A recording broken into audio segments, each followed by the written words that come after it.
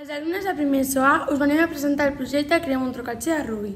És un treball en conjunt i també individual. Cada membre del grup té un rol. La finalitat d'aquest trucatge és treballar la topografia a través del relleu i dels itineraris de Rubí. Aquests itineraris formen part de la xarxa d'itineraris de Rubí. Què és una xarxa d'itineraris? En una xarxa d'itineraris es potencia els camins rurals per connectar els espais interiors naturals, culturals i esportius del nostre municipi amb l'objectiu de que tothom pugui gaudir. Hem preparat un trucatge. Què és un trucatge?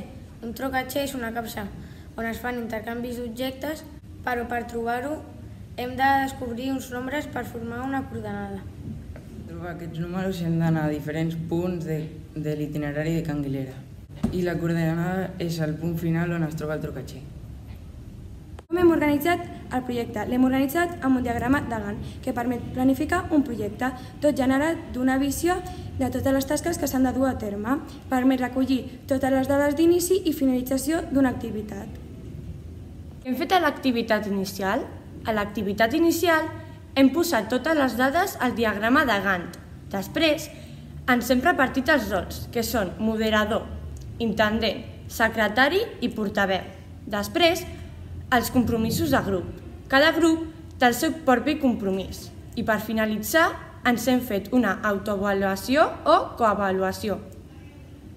Per saber el que sabíem del tema, hem fet un qüestionari virtual on, on hem vist el que sabíem sobre les coordenades, interpretar mapes, etc. Aprofundir sobre la interpretació de mapes. En aquesta activitat hem après diferents conceptes sobre la topografia, com les corbes de nivell, la equidistància, la cota, la distància lineal i el desnivell. En l'apartat següent vam fer les mesures de longitud, el desnivell de l'itinerari i quant temps feia falta per fer-lo. En el penúltim apartat vam dibuixar el recorregut a l'Instamaps i també vam ficar els punts d'interès. I en l'últim apartat vam, fer, vam mirar què feia falta per fer una ruta. El primer que vam fer va ser anar a la biblioteca a buscar informació dels nostres punts d'interès. Quan vam entrar, el director de la biblioteca, Adrià Martín, ens va explicar trucs i consells per buscar informació correctament. Després ens vam posar en grups i vam començar a fer la feina. Abans de buscar la informació ens vam organitzar de la següent manera. Ens vam dividir la feina de manera cooperativa entre els membres del grup i després vam juntar les informacions i vam fer un trencaclosques. Després de cercar tota la informació, vam parlar amb el grup i vam fer un text que va servir per fer un cartell.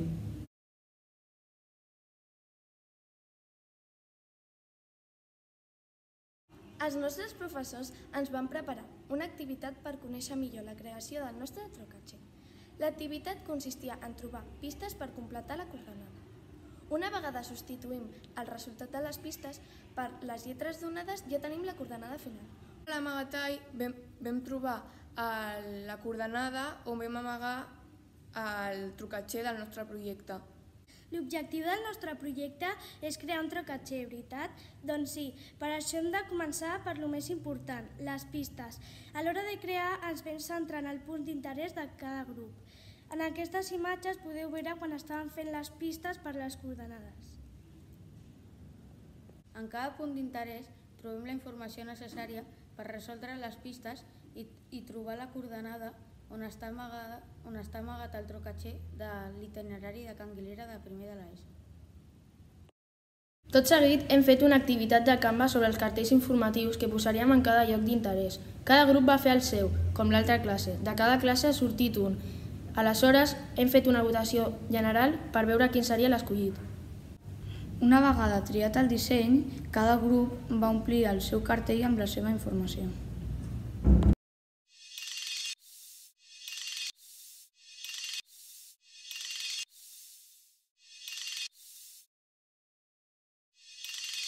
Coneixeu l'estat dels itineraris?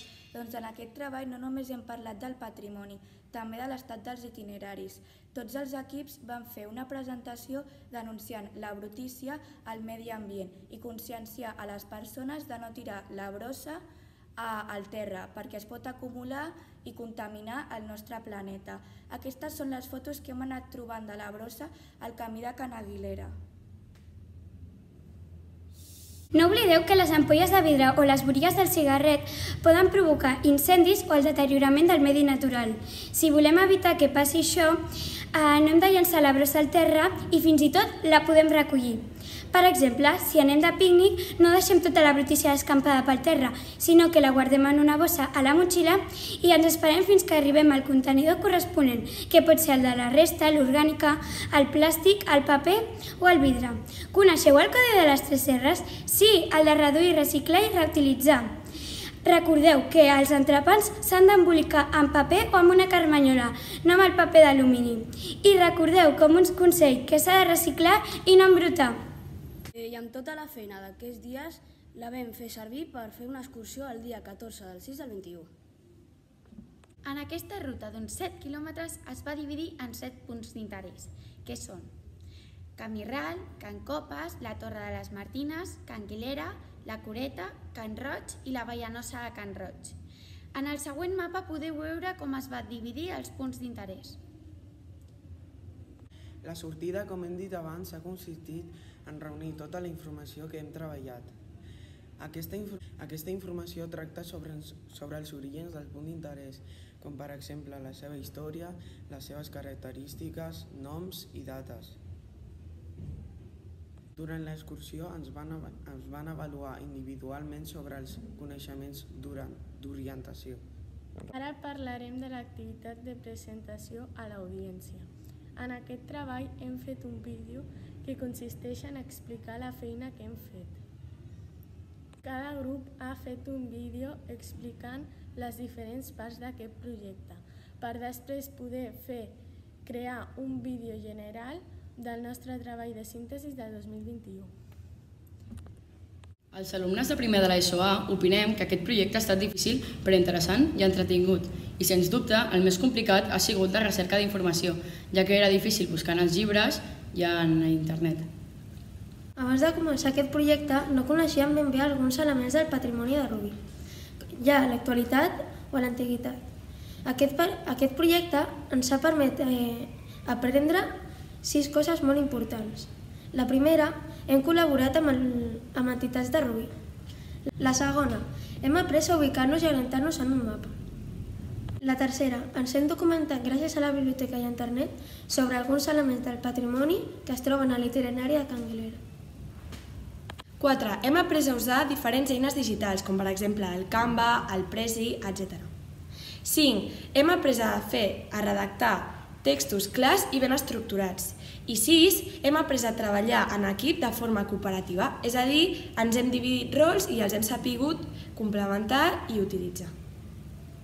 I de què ens ha servit aquest projecte? Aquest projecte ens ha servit per recapitular informació de patrimonis que han format part a Rubí des de fa molts anys. I és molt important que les noves generacions, és a dir, nosaltres, entenguem l'importància d'aquests llocs i sapiguem respectar-los. Encara podem seguir aprenent més coses sobre altres itineraris de Rubí. Eh, esperem que us animeu a provar el nostre trocatxer i us assegurem que us ho passareu molt bé. Adeu!